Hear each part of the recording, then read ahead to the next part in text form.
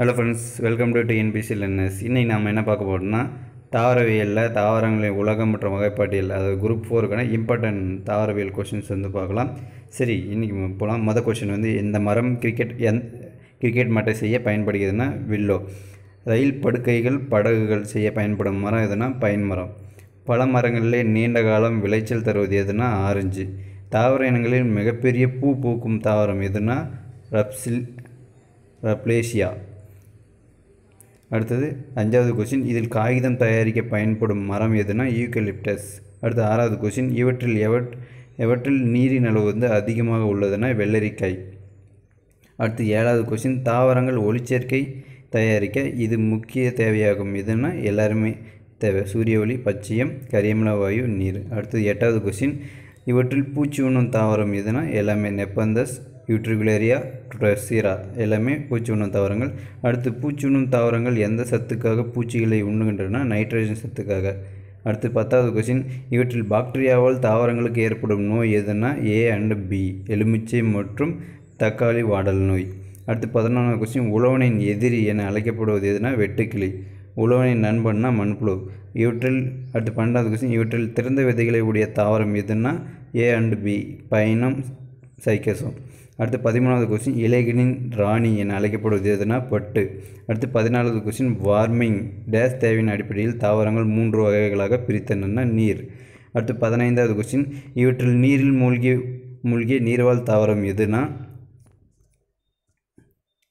வாலிஸ்னேரியா அடுத்து பதினாறாவது கொஸ்டின் இது தாவரத்தின் இனப்பெருக்க உறுப்பாகும். இவை அனைத்தும் மலர்கள் விதைகள் கனிகள்.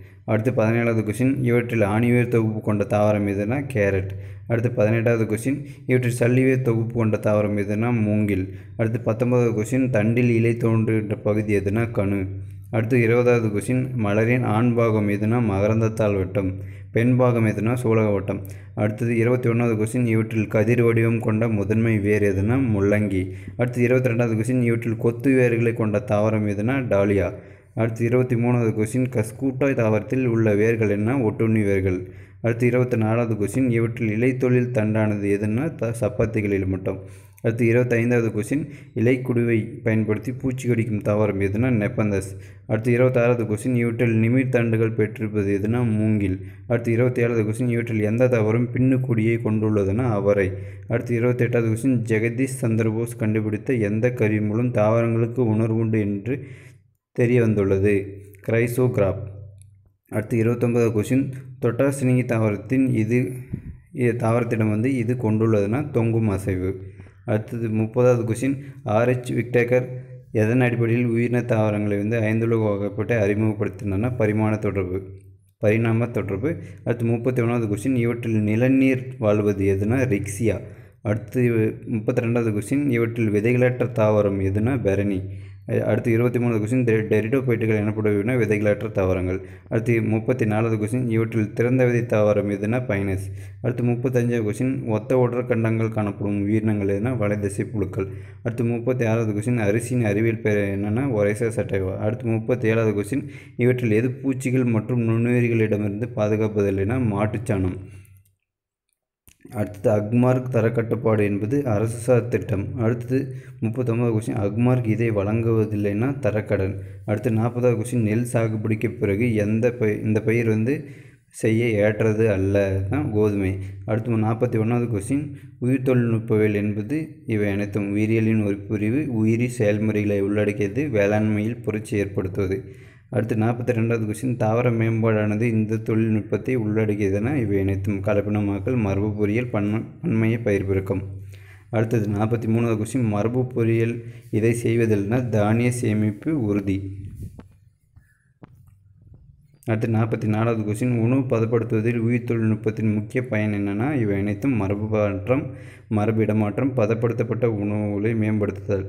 அடுத்து நாற்பத்தஞ்சாவது கொஸ்டின் இவற்றில் சரியானது எதுனா எல்லாமே சரி பிளான்ட்னா தாவர உலகம் கிரிப்டே கேம்ஸ்னால் கிரிப்டோ கேம்ஸ்னால் பூவாத தாவரங்கள் பெனரோ கேம்ஸ்னால் பூக்கும் தாவரங்கள். அடுத்து நாற்பத்தாறாவது கொஸ்டின் பூ இவற்றில் பூவாத தாவர வகையை சேர்ந்தது எதுனா? இவை அனைத்தும் பாசிகள் டேட்டோபேட்டுகள் பிரியபேட்டுகள் அடுத்தது இவற்றில் சரியானது எதுனா? எல்லாமே சரி.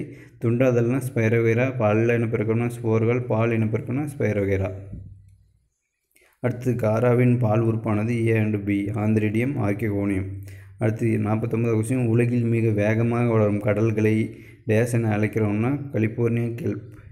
இவற்றில் நீலப்பச்சை பாசி வகை சார்ந்தது எதுனா ஆலில்லட்டேரியா அடுத்து ஐம்பத்தொன்னாவது கொஸ்டின் விண்வெளி பயணத்தின் போது பாசி என்ன பாசி பண்ணணும் குளோரலம் பைரோனாய் டோசா. அடுத்தது நான் ஐம்பத்தி ரெண்டாவது கொஸ்டின் இவற்றில் மனிதர்களுக்கு உணவாக பயன்படும் பாசினா இவை அனைத்தும் Ulva chalk Sargassum chlorella laminaria.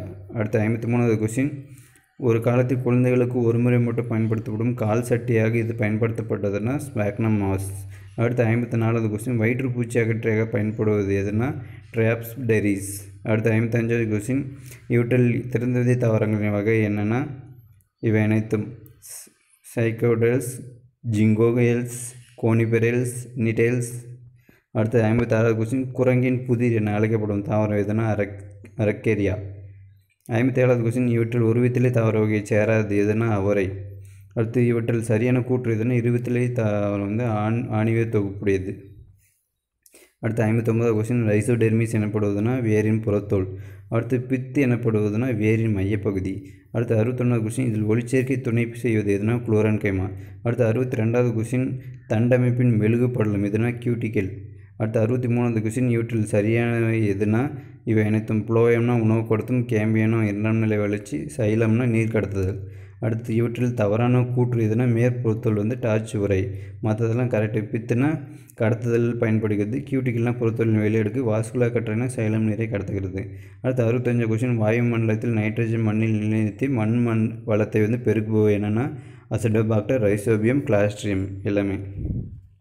அடுத்து அறுபத்தாறாவது கொஸ்டின் இவற்றில் எதற்கு நொதித்தல் மூலம் பாசிலஸ் மெகாத்திரியம் பாக்டீரியா நறுமணத்தை கொடுக்குதுன்னா எல்லாத்துக்குமே தேயிலை கொக்கோ காப்பி கொட்டைகள். அடுத்து நான் அறுபத்தி ஏழாவது கொஸ்டின் டிகா நோய் வந்து எந்த தாவரத்தில் ஏற்படுனா வேர்க்கடலை. அறுபத்தி எட்டாவது கொஸ்டின் புகையிலை பலவண்ண நோய் எதனால் ஏற்படுகிறதுனா வைரஸ். அடுத்து அறுபத்தொம்பதாவது கொஸ்டின் அலைடை காடுகள் எங்கே அமைந்துள்ளன? மகாநதி கலிமுக பகுதியில். அறு எழுபதாவது கொஸ்டின் இந்தியாவின் சமுதாய காடுகள் திட்டம் ஆரம்பிக்கப்பட்ட ஆண்டு ஆயிரத்தி தொள்ளாயிரத்தி எழுபத்தி ஆறு அடுத்து எழுபத்தொன்று கொஸ்டின் மரங்களை எழுப்பதால் ஏற்படுவது. இவை அனைத்தும் கார்பன் டை ஆக்சைடு அதிகரிக்கிறது மண் அரிமானம் ஏற்படுகிறது புவி வெப்பமயமாகிறது. அடுத்து எழுபத்தி ரெண்டாவது கொஸ்டின் இந்தியாவில் அதிக அளவு உள்ள தாவர வகை எதுனா? பூக்கும் தாவரங்கள். அடுத்து எழுபத்தி மூணாவது கொஸ்டின் இந்தியா டேஸ் தாவர பகுதிகளாக பிரிக்கப்பட்டுள்ளன. எட்டு. சிப்கோ இயக்கம் இவரால் ஆரம்பிக்கப்பட்டதுன்னா? சுந்தர்லால் பகுனா. அடுத்தது அமிலமலை ஏற்படுவதற்கு முக்கியமான காரணம் எதுனா? நைட்ரஜன் ஆக்சைடுகள்.